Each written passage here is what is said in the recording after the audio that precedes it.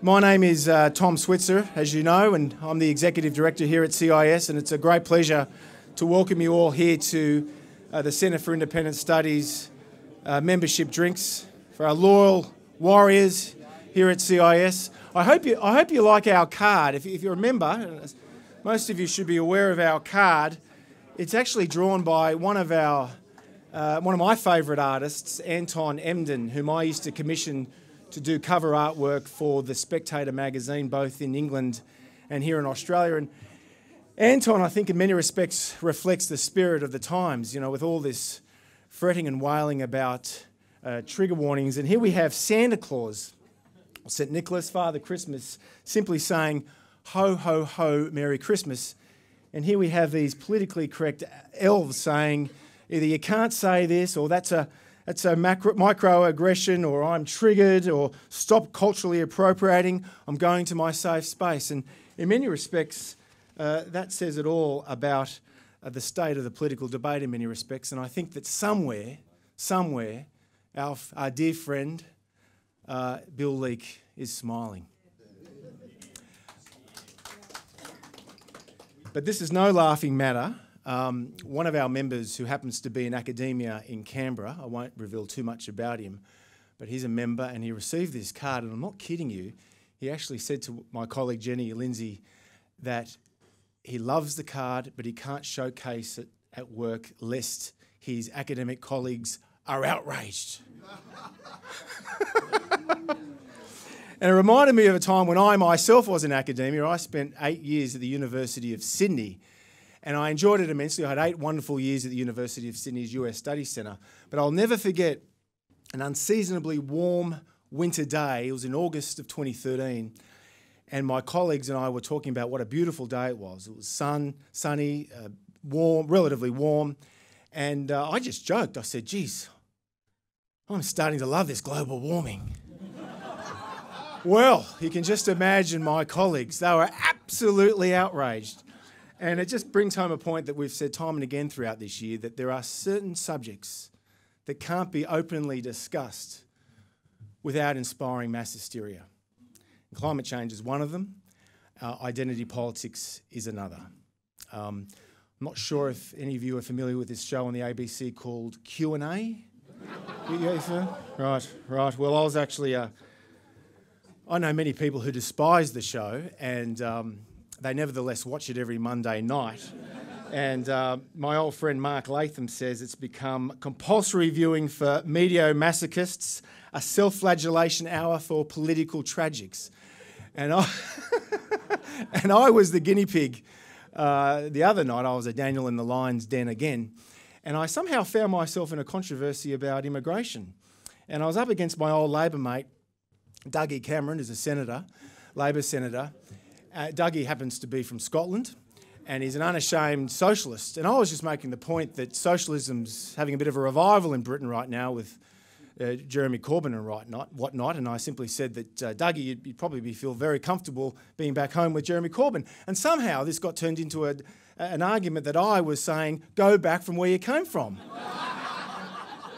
and I'm serious. And before you know it, there's all these Twitter trolls on my back, not that I do Twitter, saying that I was somehow not just a racist, but I was anti Scot. and, and my position was Dougie was being tough on Scotland. Um, no, sorry, he was tough on neoliberalism. He was blaming Tony Abbott and, and Joe Hockey for neoliberalism. And I just reminded him that the true intellectual and political architects of neoliberalism in this country were his former leaders, Bob Hawke and Paul Keating, who deregulated the financial markets, slashed import tariffs, cut taxes, privatised Qantas, among other things. And uh, these are policies that we at CIS unashamedly supported. Um, but uh, Dougie, the, the, jokes and all that was lost on Dougie. All this political correctness uh, brings to mind, and this gets back to the ca- excellent cartoon that Anton drew for us, a, a war on Christmas. And it brings to mind an absolutely wonderful column that Charles Krauthammer wrote for the Washington Post about 15 years ago. Now, many of you may be familiar with Charles Krauthammer. Uh, he'd, he'd, written a syndicated column in the Washington Post every Friday since 1985 until last year. Uh, he was 68, he fell ill, and he died this year. Uh, but Krauthammer was a Pulitzer Prize winning columnist and um, every Friday in the Washington Post.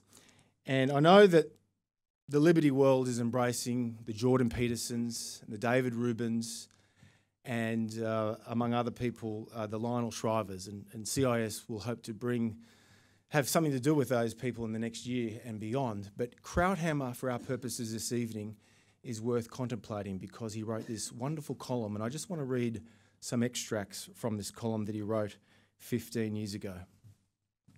Some Americans get angry at parents who want to ban carols because they tremble that their kids might feel different and uncomfortable. Should they, God forbid, hear Christian music sung at their school? I feel pity. Ask Krauthammer, what kind of fragile religious identity have they bequeathed their children that it should be threatened by exposure to carols or Christmas cards?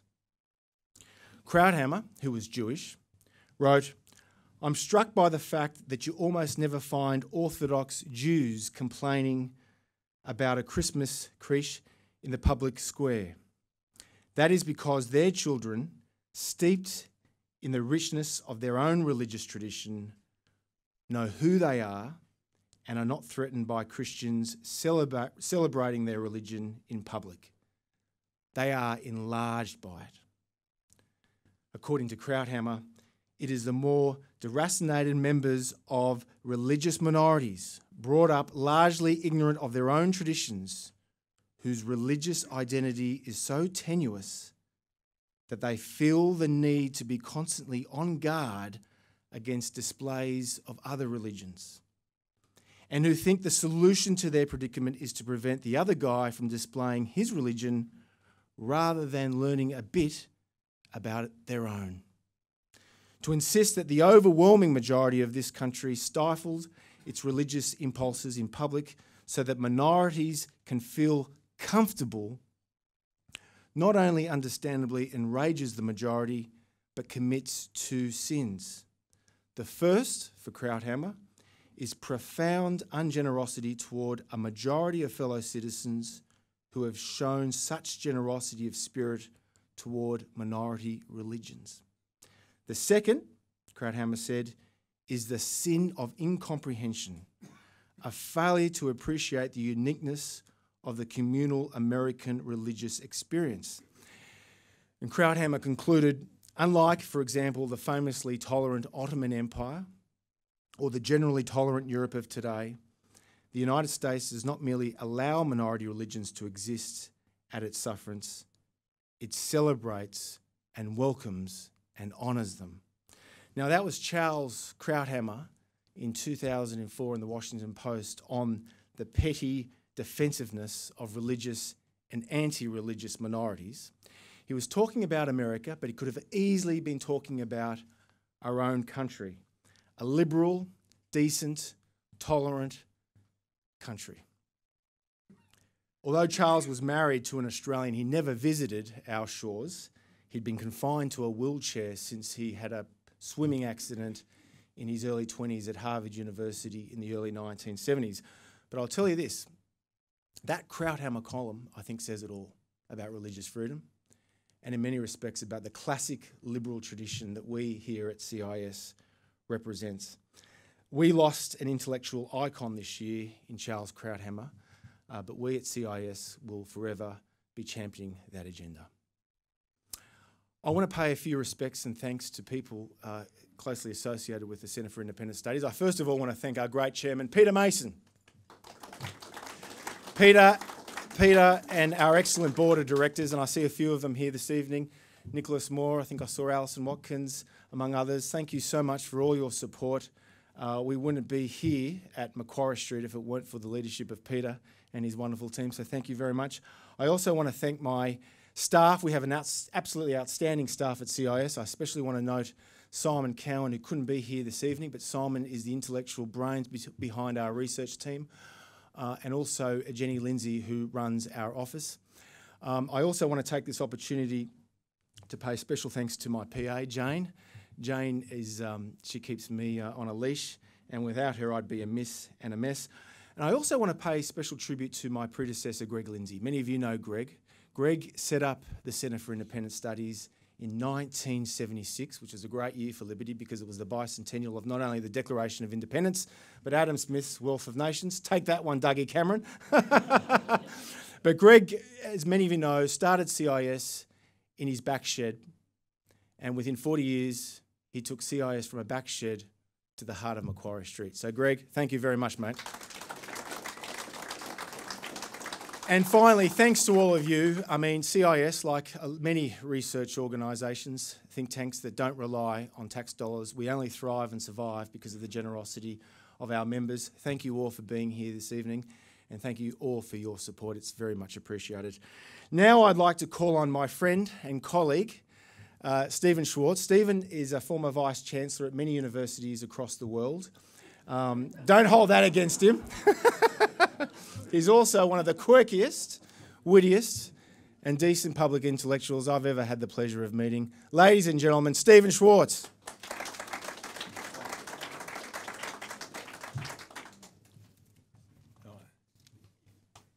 Thank you, Tom. Dear friends, it gives me great pleasure. Well, um, I shouldn't have started that way. I'm sorry. I shouldn't have used those words. Um, I, I took a vow never to begin a speech by saying, It gives me great pleasure. You see, it goes back to when I was a member of the debating team at the Marquis de Lafayette High School. Um, to practice debating, we used to write topics on slips of paper and drop them in a bin. Then you'd pull one out blindfolded and have to speak on whatever you happen to choose. It was my turn and I went to the bin, I picked it up, and my topic was sex.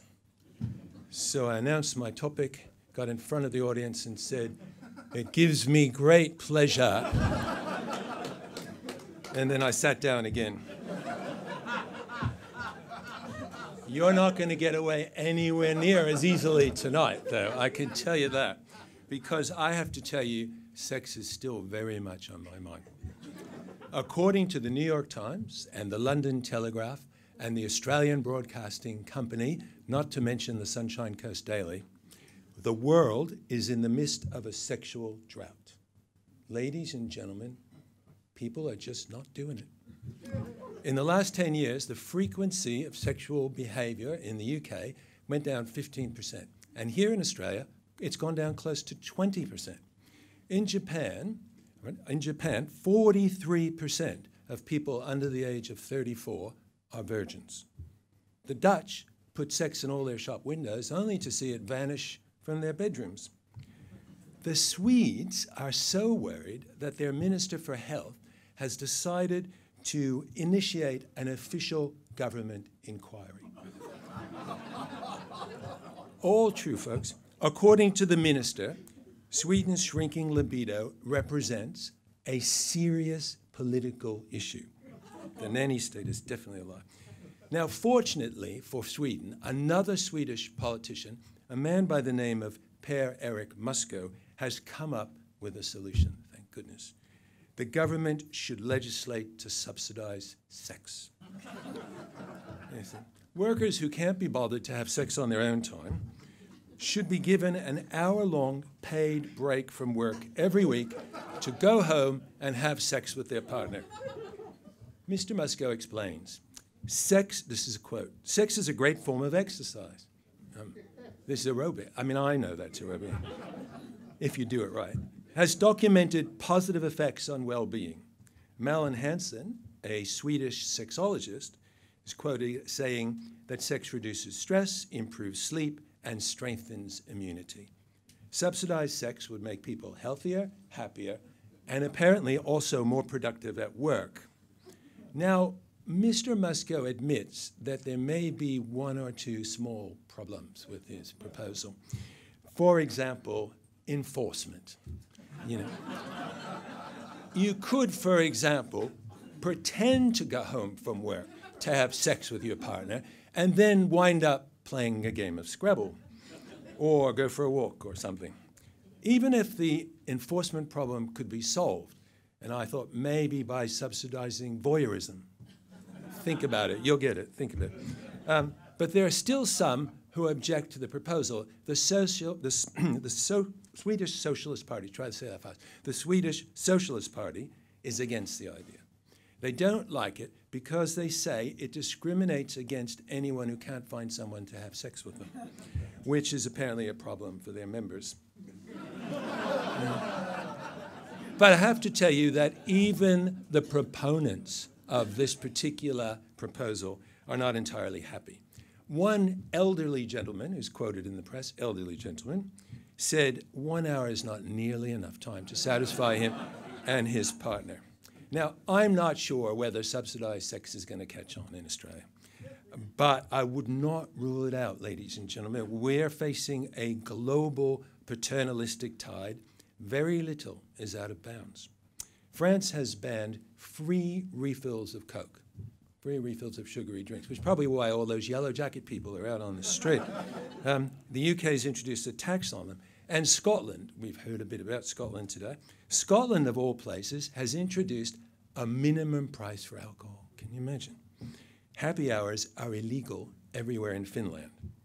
Now, what about Australia? Well, we're about to find out tonight because tonight we present the Centre for Independent Studies Nanny Award. The Nanny Award recognizes the most absurd, irrational, idiotic, moronic, farcical attempts to mine the private business of citizens. Not as good as the Swedes, I have to say, but we're trying. Given that the government, the whole of the government, and lots of organizations are working for us, there is never any shortage of really good nominees for the nannies. And the judges have had to work very hard. They've, they've labored mightily, and they've managed to whittle down the list to three. And I'm now going to tell you the three finalists. Third place goes to Arwen Birch who is a environmental educator, and she wants to ban car advertising, motor car advertising. According to Arwen, car ads always show beautiful, cool, sexy people gliding along in really nice cars on totally empty roads with no one around. These ads lull gullible people into buying cars when they experience the congested reality of real life driving, they get angry and frustrated, and what do they do? They become road rage loonies. Ban the ads, no more road rage. But that's not all. Car accidents cost the economy lots of money, their fumes are lethal, and they make you fat and lazy. So if we ban car ads, says Miss Birch, no one will buy cars. If no one buys cars, we'll all be thinner and healthier because we'll be walking and riding a bike instead of driving a car.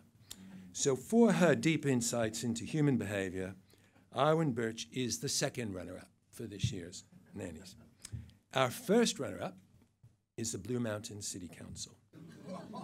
The Blue Mountain City Council wishes to limit playground safety fences. You probably haven't given a lot of thought to this matter, but the Council has published new guidelines regulating children's play. Did anyone here know that councils regulate children's play? Oh, I did not know that. According to the guidelines, I have to read them. Fencing a play space from the rest of an open space limits the scope and variety of children's play. It effectively cages play into a contained space, and this keeps kids from reaching their full creative potential. Got that? Now, in response to critics who say that councils should just let kids be kids and stop poking around in their business, the mayor has promised to review the proposals to ensure, I have to quote again, that they do what they are supposed to do. I don't know about you, but I can't wait to learn exactly what that might be. In the meantime, the Blue Mountains Council can bask in the glory of coming second place in this year's Nanny. And now the winner. By a huge vote, overwhelming vote. The judges of this year's Nanny Award, and there's a certificate, that's it, Nanny anything. Um, the judges have chosen Sausage Gate. Sausage Gate is a nefarious plot to rob us of Australia's favourite snack, the venerable Aussie barbecued snag. New research from the George Institute for Global Health, Vic Health, that stands for Victoria, the Heart Foundation, has revealed that the humble snag, served on white bread, of course, layered with tomato sauce, contains 2.35 grams of salt. That's half your recommended daily salt intake. Clearly, something must be done. According to Vic Health CEO Gerald Reckler, Jerril Rechter, and I have to quote again, it shouldn't be left totally up to consumers to make choices. Eh, of course not. She wants companies to reduce the salt in their sausages to government approved targets. She also suggests that maybe we should think about replacing sausages with veggie skewers. Corn works very well, she says. Now, if all that was not enough, there's more. Bunnings, home of the sausage sizzle, has ordered that its snags be placed on top of the onions in the bun. I will illustrate. Bun, onions, sausage, like that, and another bun on top. All right, why? Apparently, when placed on top of the sausages, the onions fall out of the bun. And they make the Bunnings car park into a slippery ice rink. And the customers are sliding into Bunnings on their back like a lot of lathered, greasy hockey pucks, right? In there. Now, the onion toppers are not happy, right? They insist that sausages must be on the bottom because, well, because that's how they like them, you know. anyway, Bunnings also, of course, works in New Zealand. And when our current Prime Minister, his name is Mr. Morrison, um, met the New Zealand counterpart, Jacinda Ardern, she brought up the Trans Tasman Sausage Gate problem. She said there was no greater international issue facing the two leaders. I quote her I think, I can't do her accent, I'm sorry. I, th- I, I think we should make a commitment, a joint commitment, that on our watches, the sausage sizzle should continue. And Mr. Morrison, you'll be happy to know, was quick to agree. He said, onions on top or underneath, however you like it. At last, real leadership in Australia. it's, uh, it's enough to make you want to vote again. So, for the audacity to attack the beloved Aussie snag, this year's Nanny Award goes to the Sausage Gate plotters, Vic Health, the George Institute, and the Heart Foundation, and for sheer zany silliness to Bunnings as well.